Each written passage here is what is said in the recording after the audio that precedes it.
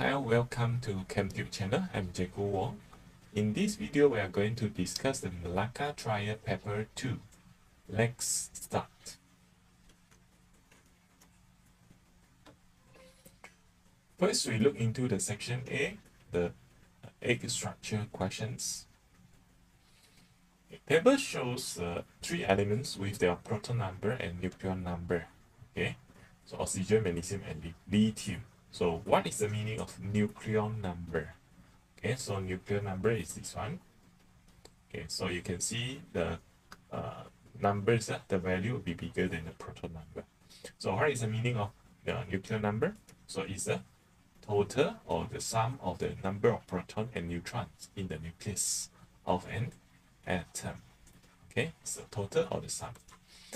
Now, um, based on the table, write the standard representation for each of the elements for oxygen, magnesium, and lithium.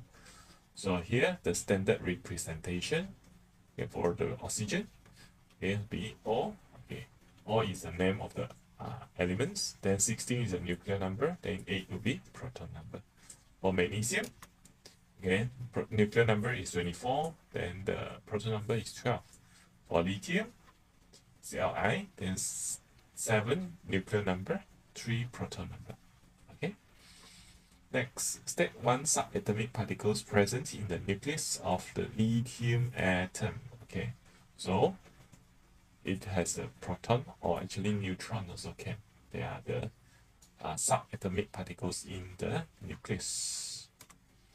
Now question number two, in a school science week competition, you are asked to identify the compound X in a sample of banana flavor cultured drinks. The following information is provided to help you. Okay, so the simplest mole ratio, carbon is 7, hydrogen is 14, O is 2. Okay, So what is the meaning of empirical formula? So empirical formula refer to the formula that shows the simplest ratio, uh, simplest ratio of the number of atoms for each elements in a compound. Okay, now state the empirical formula for compound X. So it's C7H14O2 uh, because it cannot be simplified anymore. Okay, B, combustion of the propane gas C3H8 in excess oxygen molecule produce a water and carbon dioxide. So the chemical equation for the reaction is follow. Okay, so balance the chemical equation by identifying the x, y, z. Okay, so to solve this question, okay, or to balance the equation, okay, first one we need to settle the uh, carbon first. Okay, so here C is 3 Okay, so C3, so meaning that this one carbon times 3. Okay, second one we solve the hydrogen. So hydrogen is 8 hydrogen here. So this one 2, so meaning that this one is 4. Okay, then finally we have to solve the O. Okay, O. So here 3 times 2 is 6, 6 plus 4 is 10. So 10 meaning that finally we need to determine the oxygen. So 5 times 2 is 10. Okay, so the answer be x is 5, y is 3, z is 4. Okay, question number 3. Diagram shows a graph of volume of gas released against time for the reaction between the calcium carbonate and hydrochloric acid. Okay, so time taken and then this is volume of acid. Huh? so actually if you can see it uh, properly so after 240 seconds the rate of reaction I think should be stopped already huh? uh, the reaction is stopped already okay so it's 45 cubic centimeter so what is the meaning of a rate of reaction is a change or increase in the volume of carbon dioxide gas collected per unit time. Uh, okay, per unit time over the time. Now, step one observable changes in this experiment can be used to determine the rate of reaction. So, It will be the same as the meaning just now. So, it's the volume of gas collected okay, over the time. So, we can see. Okay, now calculate the overall average rate of reaction. So, overall, So it's the volume divided by the time. Okay, so it's 45 cubic centimeter divided by 240.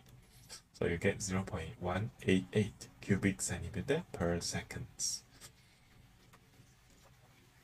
Okay, B classify the following reaction into fast reaction and slow reaction in the table below. Okay, first one, electric cell uh, reaction, uh, electric cell reaction, fireworks, uh, rock erosion, and then fermentation.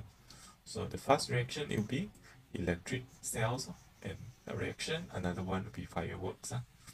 Then the slow reaction, rocks, rock erosion, and then fermentation. Okay, these two reactions are very slow. Okay.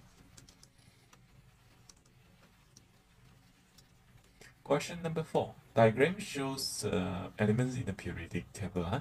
So in which group in the periodic table chlorine located?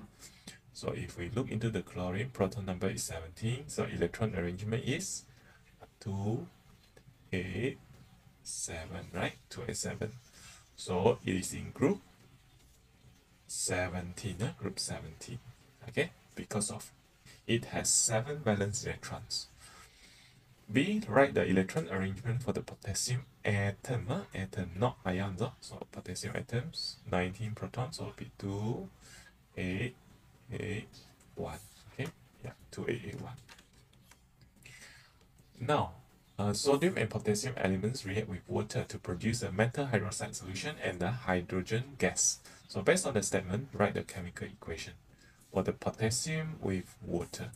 So potassium is a metal, right? Metal react with water. So it produces metal hydroxide, there is a potassium hydroxide solution and then hydrogen gas.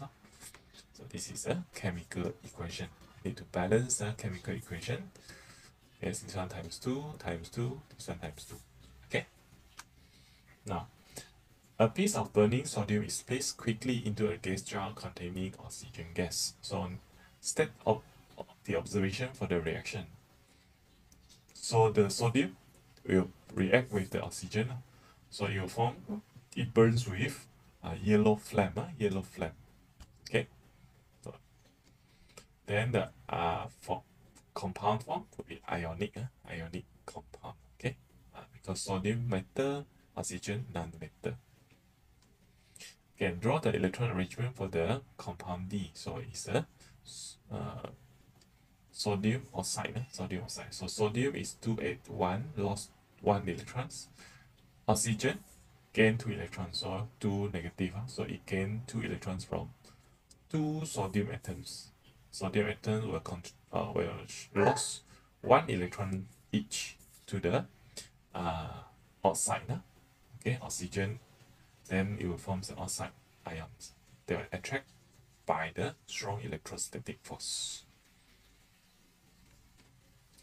Question number five. Diagram shows the ginger uh, plant. Ginger can be used to as a traditional medicine. So, which of the part PQRS used as the main source of the me uh, medicine? So, what is your opinion?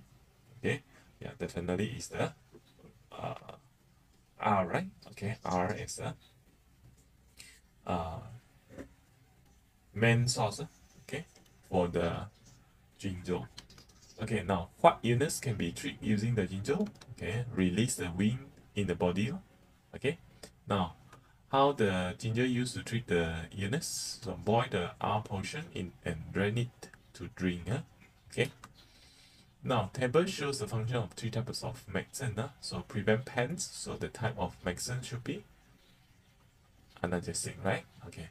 Kill or prevent the reproduction of the bacteria. So, this one will be antimicrobials.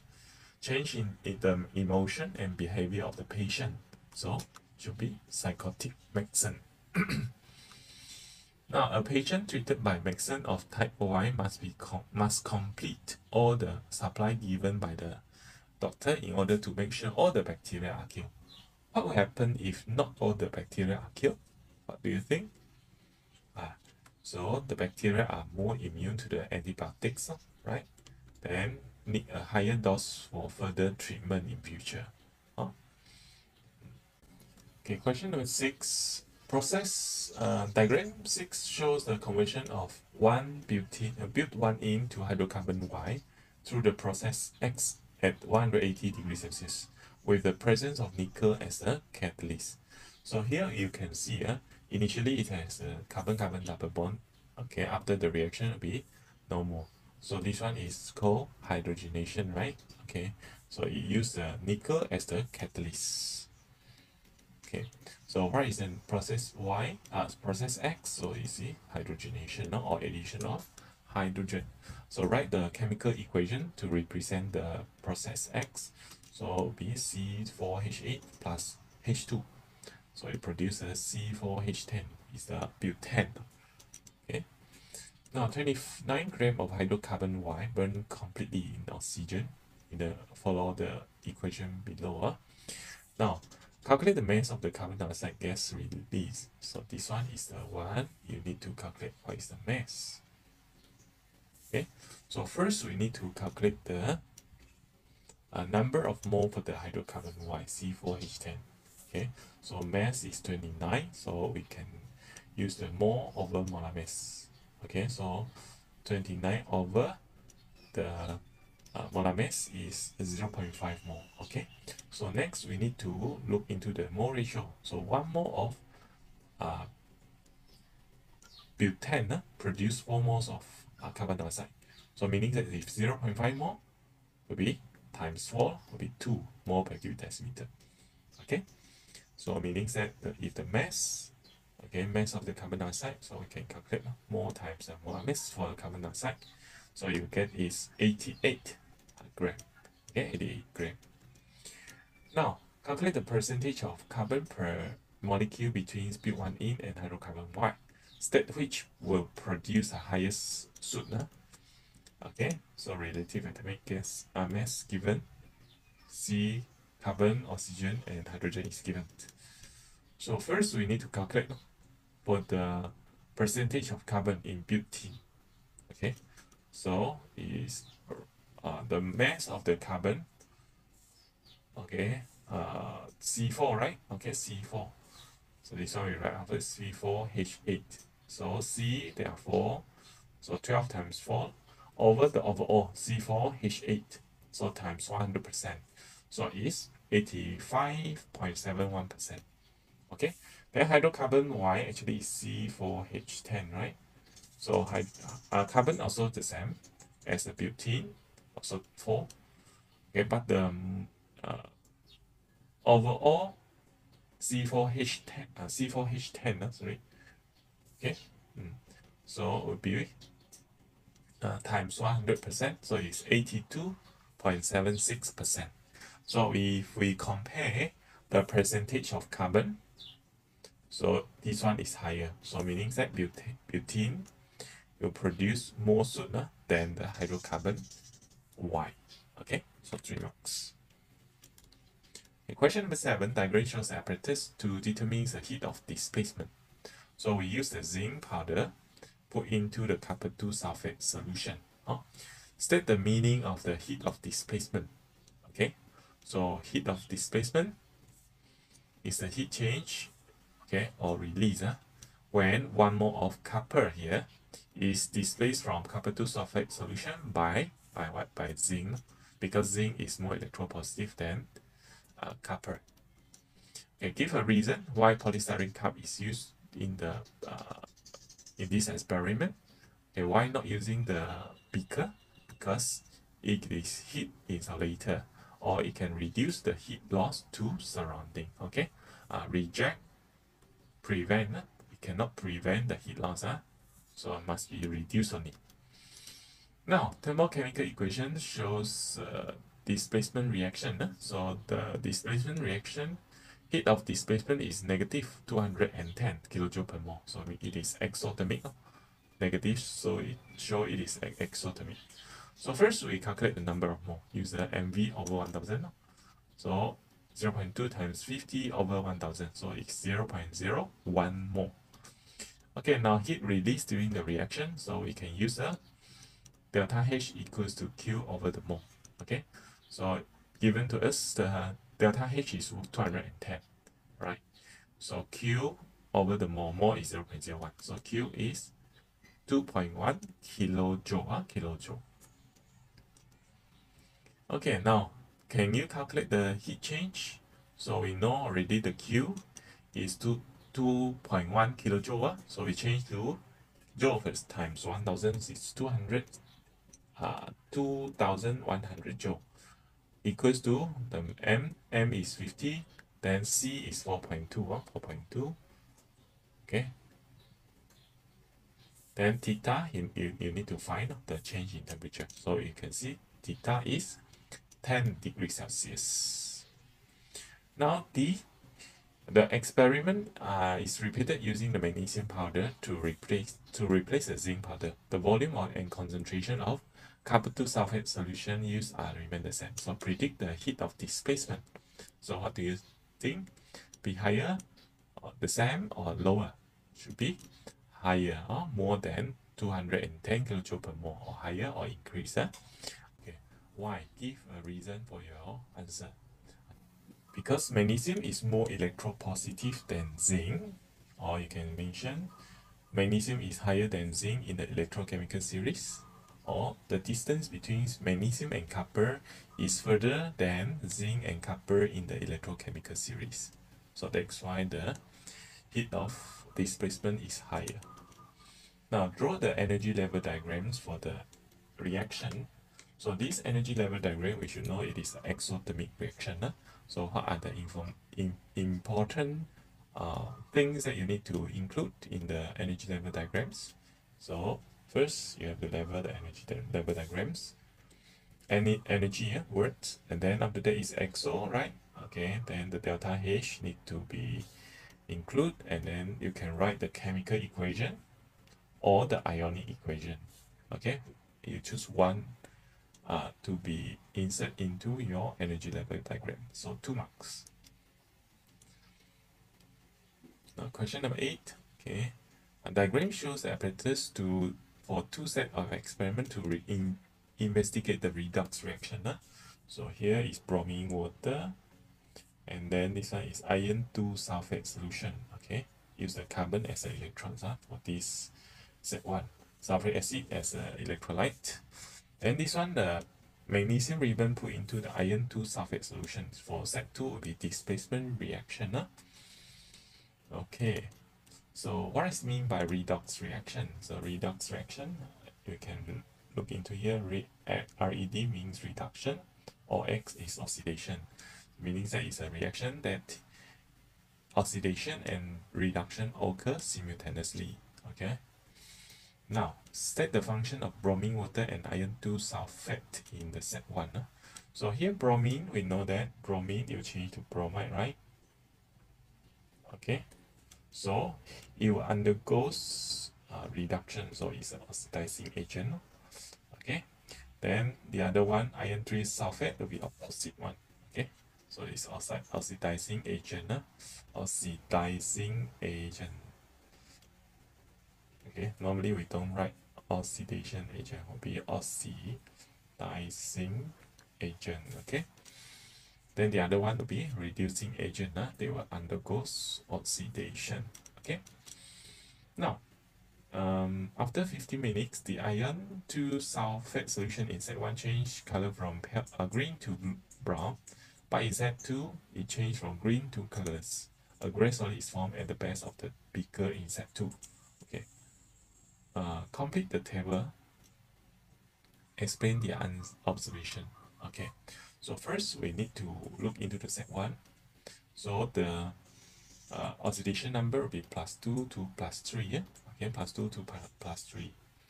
Okay, the half equation will be iron 2, it will change to iron 3. Yeah? So this one is undergoes oxidation.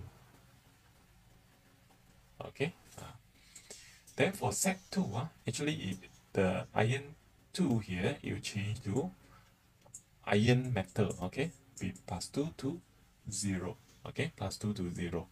So the uh, as uh, the half equation, it will be iron 2, okay, you gain electrons to form the iron metal. So this one is undergoes reduction, uh, reduction. Okay, because it pair with the magnesium, which is a, a reducing agent. Uh, so it here becomes the oxidizing agent. Okay. Now, another redox reaction is carried out to investigate the effect of metal X on the rusting of iron. Okay, it shows the apparatus. Huh? Okay, so iron nail coil with metal X. Huh? So the agar solution with potassium hexacyanoferrate 3. So this fun, uh, this solution actually used to detect the iron 2 ions. Huh? Okay, if the iron is rust, so you produce iron 2 ions. Okay, then the potassium hexacyanoferrate 3 it will shows the dark blue color. Okay, uh, dark blue spot now of precipitate. Okay, so if no dark blue coloration, meaning that it, uh, the iron is not rusting. Okay. Now after three days, the result shows the blue spots, meaning that okay, iron 2 ions is present, right? Okay, so suggest a suitable uh, metal X. So for the iron, it should be contact with the uh, lower uh, lower position or less electropositive metal than the iron. Okay, so for example, like copper, uh, okay, tin, uh, okay, uh, or any, any metal less electropositive than iron. Uh. Okay, explain your observation. Okay, so X is less electropositive than iron. So iron is oxidized, or iron two ions is formed.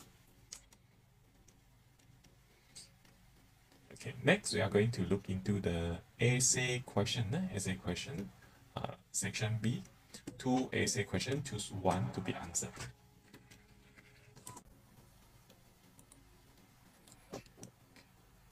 Question number nine. Diagram 9.1 shows the apparatus for the for a simple chemical cell. Huh? So yeah, it is using the copper electrodes and then the iron electrodes. Okay, and using the salt bridge. Huh? So inside the electrolyte is copper 2 nitrate solution and then this is iron 2 nitrate solution. Okay, uh, for this question, uh, you need to add in the E naught value. Okay, for the iron is negative 0.44 volt and then for the copper is positive 0.34 okay. So actually to determine the negative terminal or the anode uh, is very simple. It's just into the value of the E naught so if here is more negative so meaning that this one becomes the negative terminal or anode it undergoes oxidation. So remember oxidation you lost electrons, huh? lost electrons. So lost electrons meaning that this equation it will be more to the left. Okay, more to the left. Then if here positive, meaning that this one will be the cathode. No? Okay, so undergoes reduction. Okay, gain electrons. So meaning that uh, this one is more to the right. Okay. So, okay, uh, based on the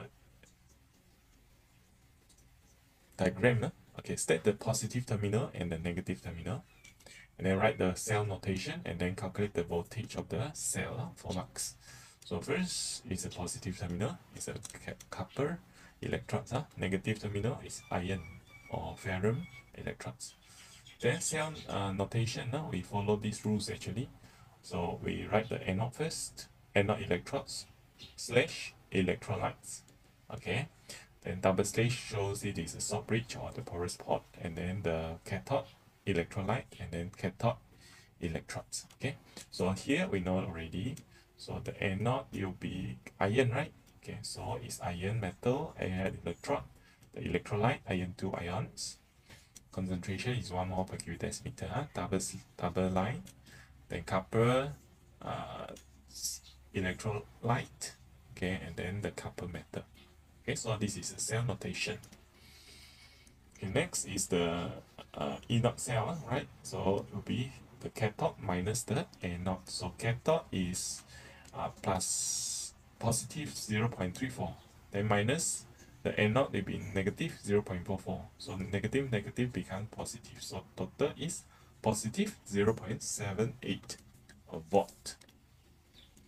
Next question. The experiment is repeated by using pair of silver electrodes and then the magnesium electrodes uh, with aqueous solution containing the metal ions respectively. So uh, table shows the standard electrode potential for magnesium, silver, and then the hydrogen. Uh. So if we look into the electrodes here, so uh, for magnesium is negative, more negative. So this one, uh, we know it is an anode. No? Okay, anode is an a negative terminal. Okay, so it undergoes oxidation. So the more positive would becomes the cathode. So this this is a positive terminal. Huh? Okay, now okay observation at the positive terminal. So if positive here, we inside the electrolyte we have uh, silver, right? We have silver ions. We have uh, hydrogen ions.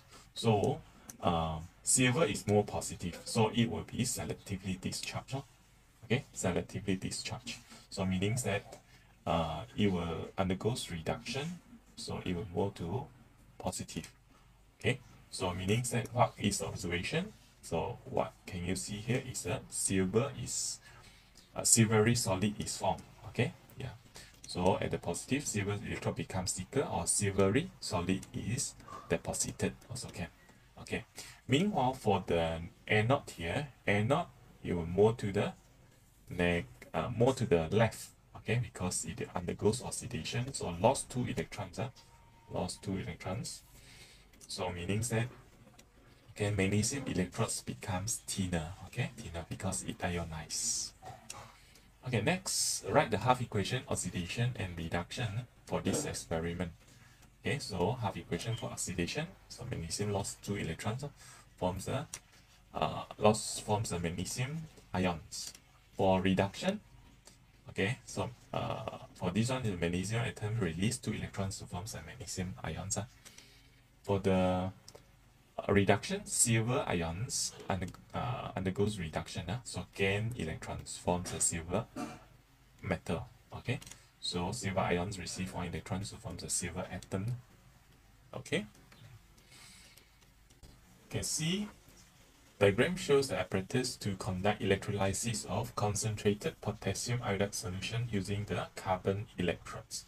So here the electrolyte used is concentrated uh, potassium iodide. So iodide solution, if it is concentrated, it will be selectively discharged at the cathode later. Oh, so inside here, we look into the diagrams here. So potassium iodide solution, it contains of potassium ions, and then the iodide ions, okay, then hydrogen ions, and then hydroxide ions, okay. Mm. So uh, at the cathode here, okay, cathode is uh, negative terminal, and then positive terminal, anode, okay.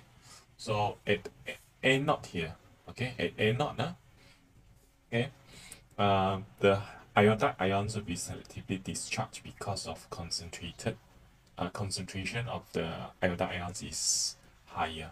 Okay, so you will selectively discharge. Okay, for the uh, cathode, the hydrogen ions will be selectively discharged.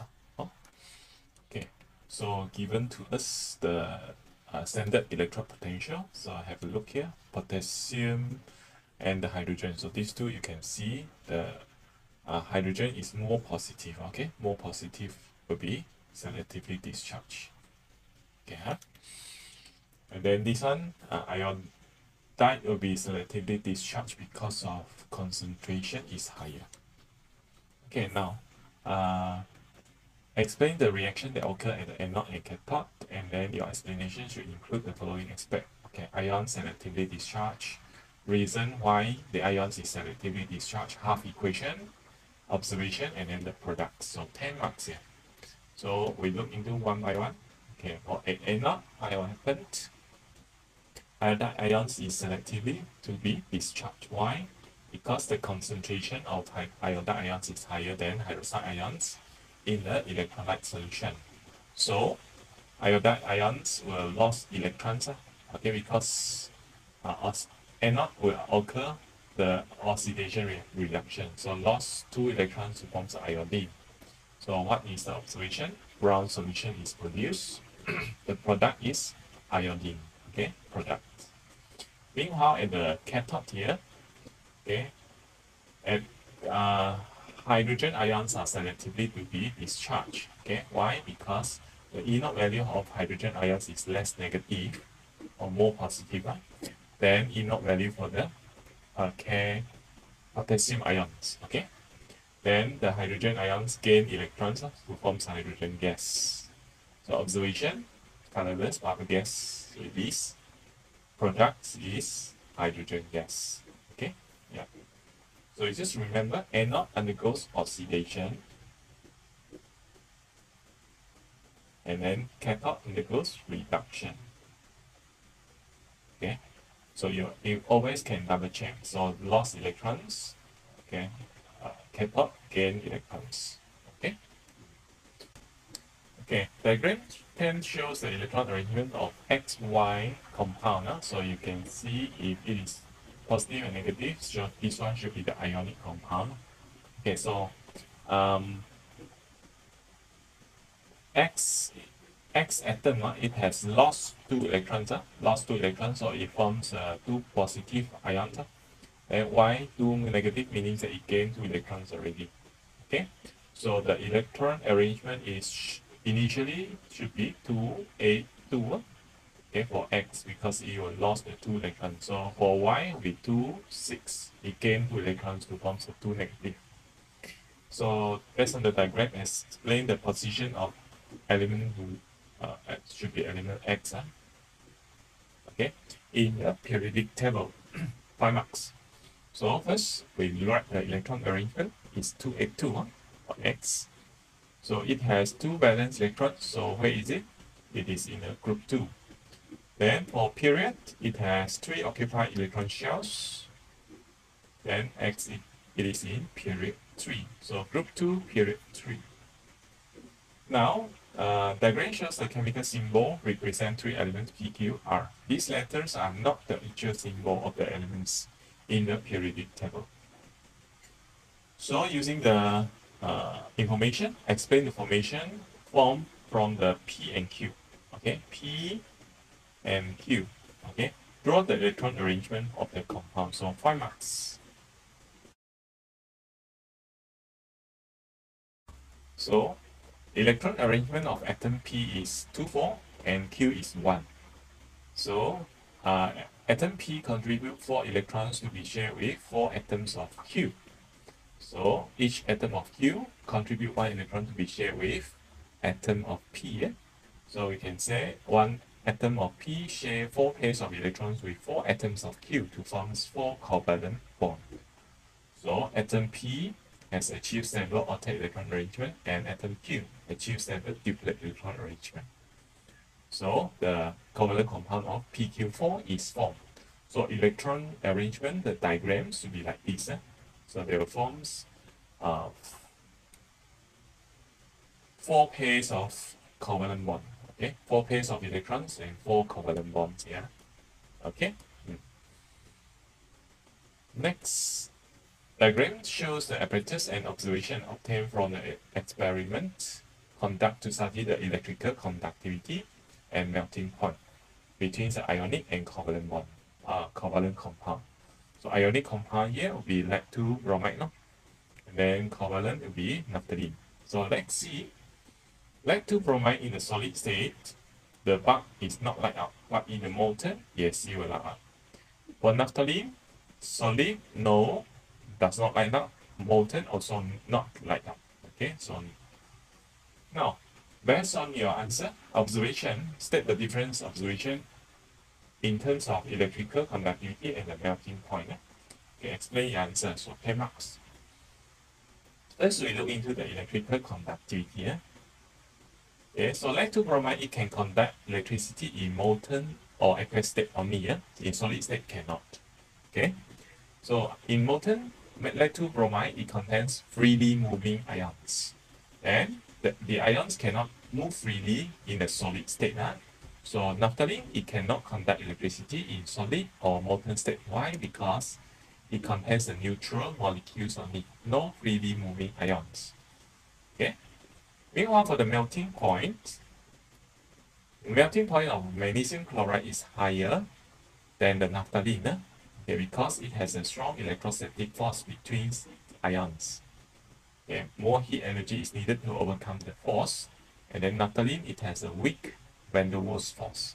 So a little heat energy is needed to overcome the force.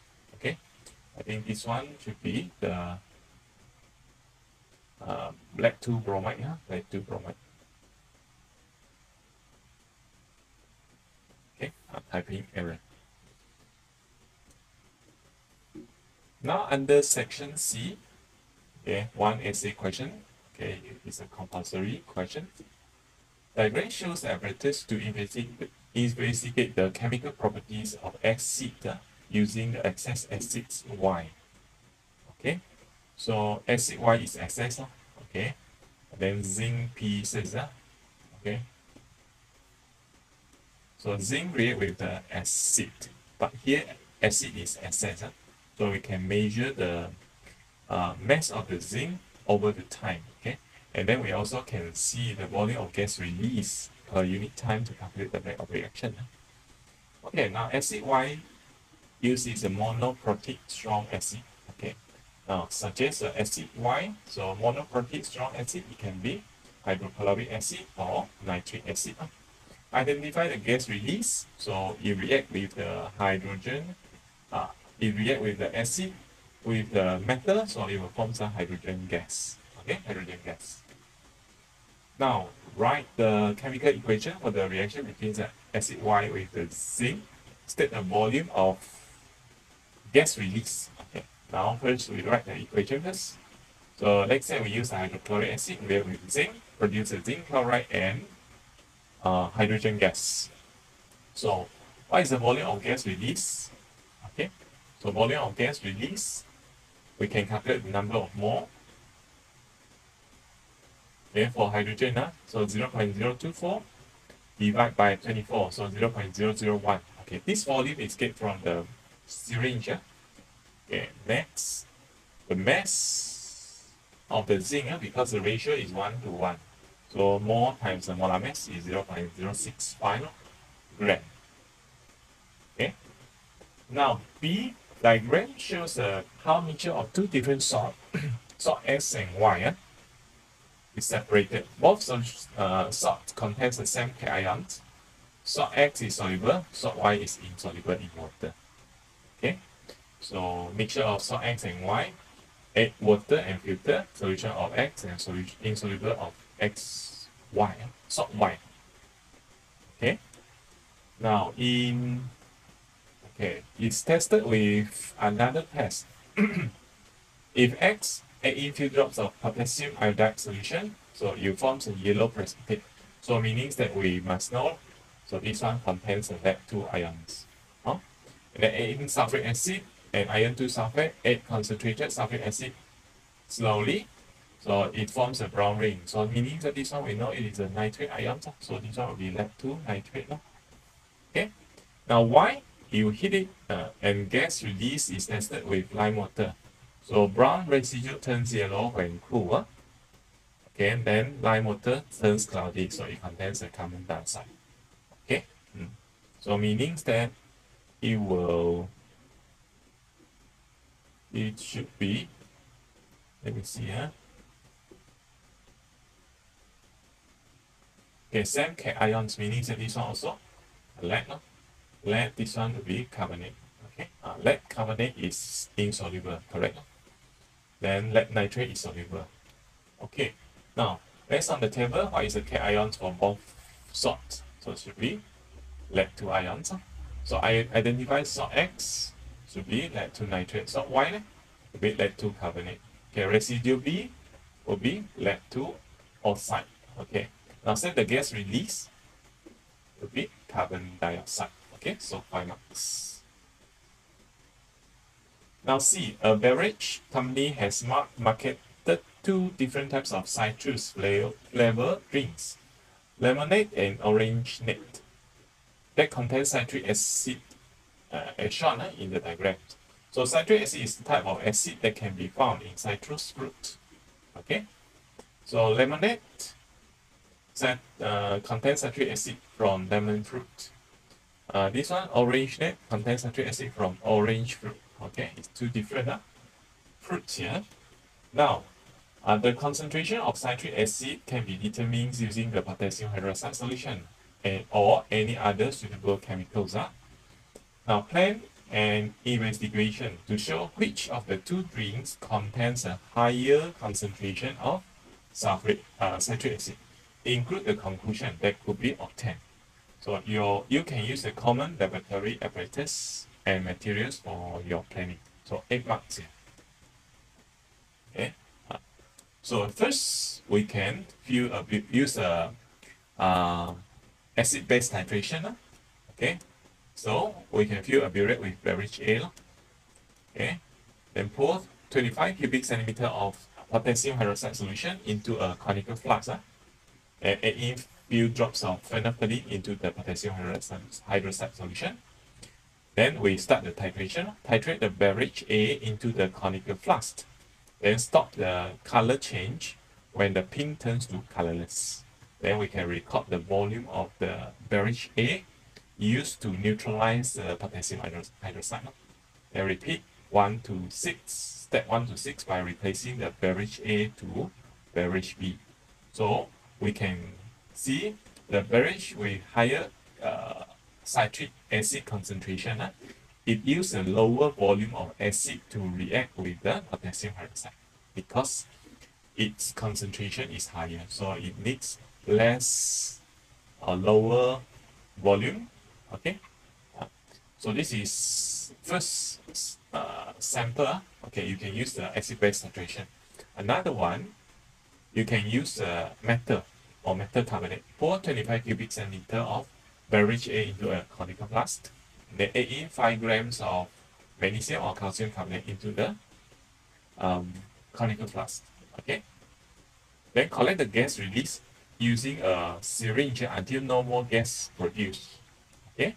Then record the volume of gas release. Then repeat one step one to four by replacing the beverage A2 with the beverage B. Then beverage with a higher concentration of citric acid, it will release more volume of gas. Huh?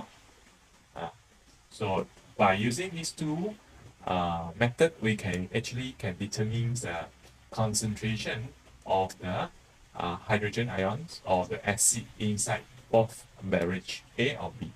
Okay. So that's all for this video. Okay. Uh, I hope it helped you to prepare yourself uh, in your SPM exam. Okay. All the best to all of you. Thank you.